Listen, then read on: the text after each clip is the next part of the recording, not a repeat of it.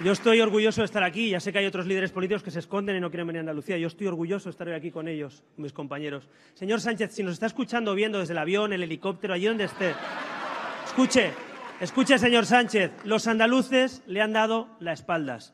Yo le pido que convoque elecciones generales y le ganaremos a las urnas.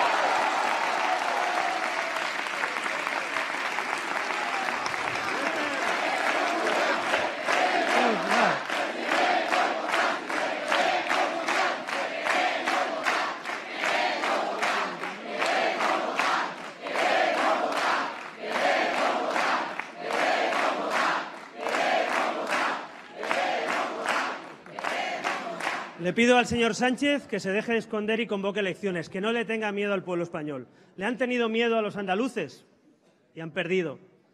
Y quieren que no voten los españoles, pero conseguiremos ir a votar tarde o temprano, no os quepa duda. Y cuando vayamos a votar, yo, os prometo una cosa.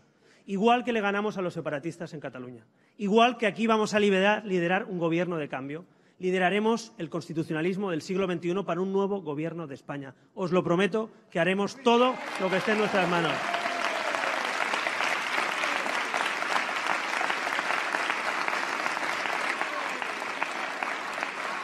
Así que, así que déjame decir que España necesita un proyecto de país.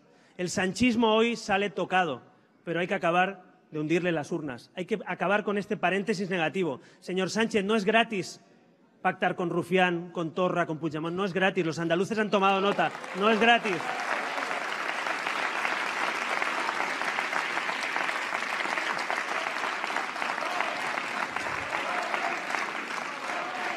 Y tampoco, y tampoco le va a salir gratis entregarle la economía a Pablo Iglesias, a Monedero, a Echenique, tampoco le va a salir gratis. Los españoles le darán la espalda en las urnas y nos darán su apoyo. Yo os prometo que vamos a intentar reconstruir todo lo que Sánchez se está cargando. Vamos a intentar unir a los españoles. Yo no quiero una España de rojos y azules, quiero una España de ciudadanos libres e iguales. Esa es la España que queremos.